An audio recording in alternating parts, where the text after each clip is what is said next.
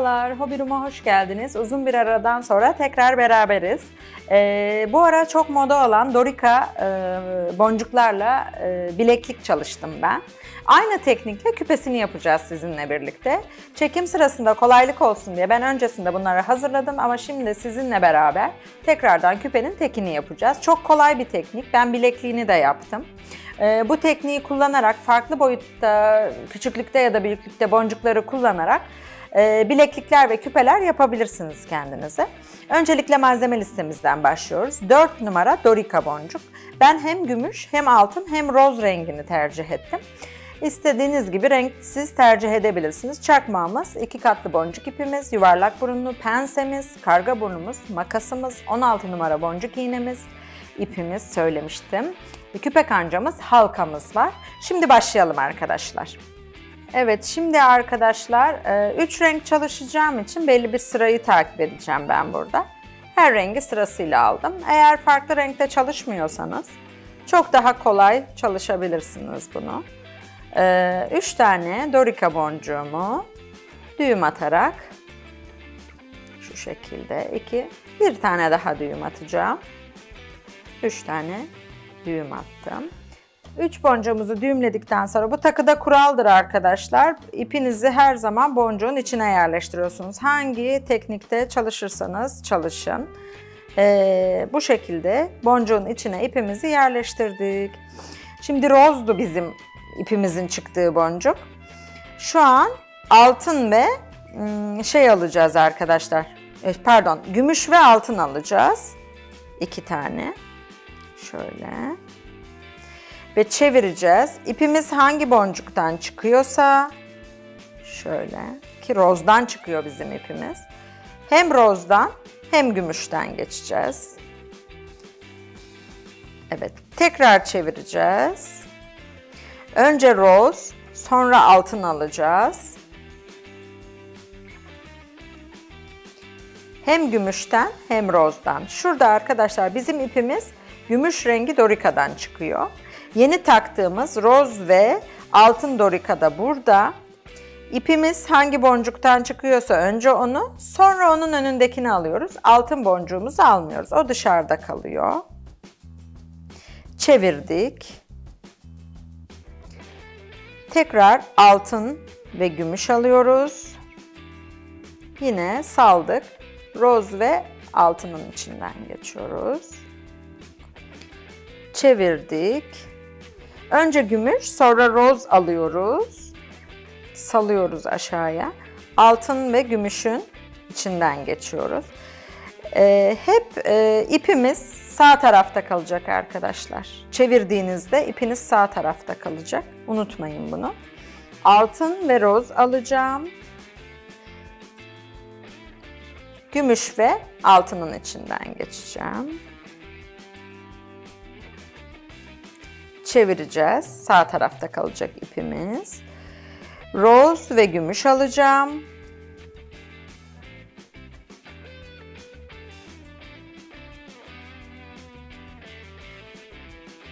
Yine sağ tarafa çevireceğim. İpim sağda duracak. Şimdi gümüş ve altın alacağım. Burada buna niye dikkat ediyorum bu arada arkadaşlar? Üç renk kullandığım için üç renginde ahenkli bir şekilde e, buraya yerleşmesini istiyorum. Yani bu tarafta hem altın hem roz hem gümüş. Bu tarafta da hem altın hem gümüş hem roz olacak sırayla. Aşağıda da arkadaşlar hem roz hem altın hem gümüş. Bir sırada takip edecek. Onun için dikkat ediyorum. Yine sağ tarafa çevirdim. E, roz alıyorum ve altın alıyorum.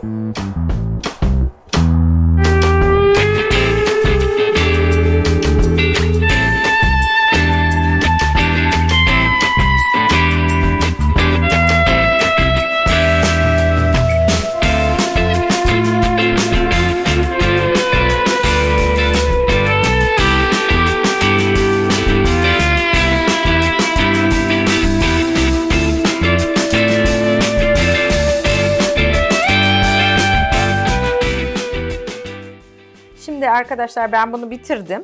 Fakat sağlam olması adına bir daha içinden kopmaması adına şöyle geçiyorum sırasıyla tüm boncukların içinden.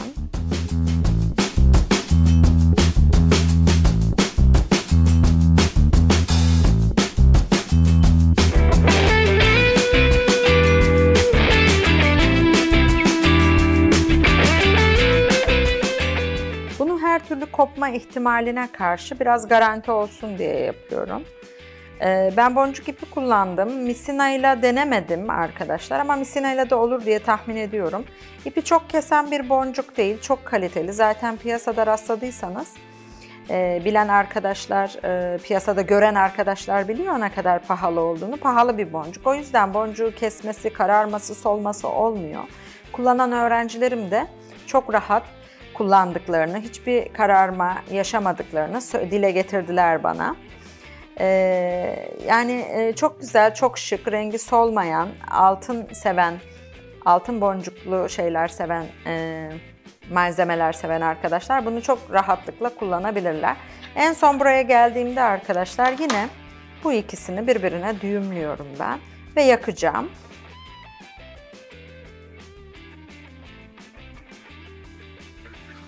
Şöyle şuradan kestim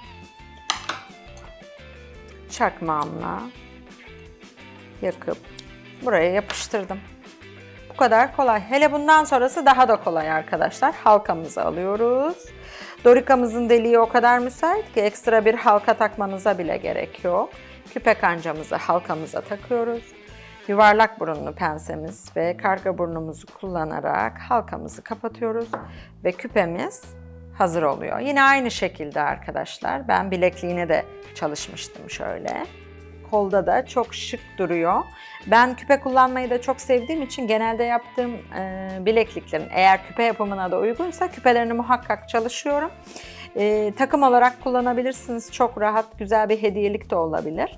Ayrıca bunun dışında bir boncukla yapmak isterseniz doğal taş kullanabilirsiniz. 4 numara, e, turkuaz doğal taşlar fasetli doğal taşlar kullanabilirsiniz ya da daha zarif bir şey yapmak isterseniz bu teknikle e, dorika yerine ipe dizili kum boncuk kullanırsınız arkadaşlar. Şu aralara da şu aralara da 2 numara kristal yerleştirebilirsiniz. Çok şık duruyor. İsterseniz ilerleyen zamanlarda bu modelimizi beğenirseniz ilerleyen zamanlarda onun da videosunu çekeriz. Şimdilik bizden bu kadar. Tekrardan görüşmek üzere. Yeni modellerle yine bir arada olacağız. Bizi takip etmeyi unutmayın. Beğen butonuna basarsanız çok memnun olurum. Ayrıca yorum da yazarsanız çok memnun olurum arkadaşlar. Tekrar görüşmek üzere.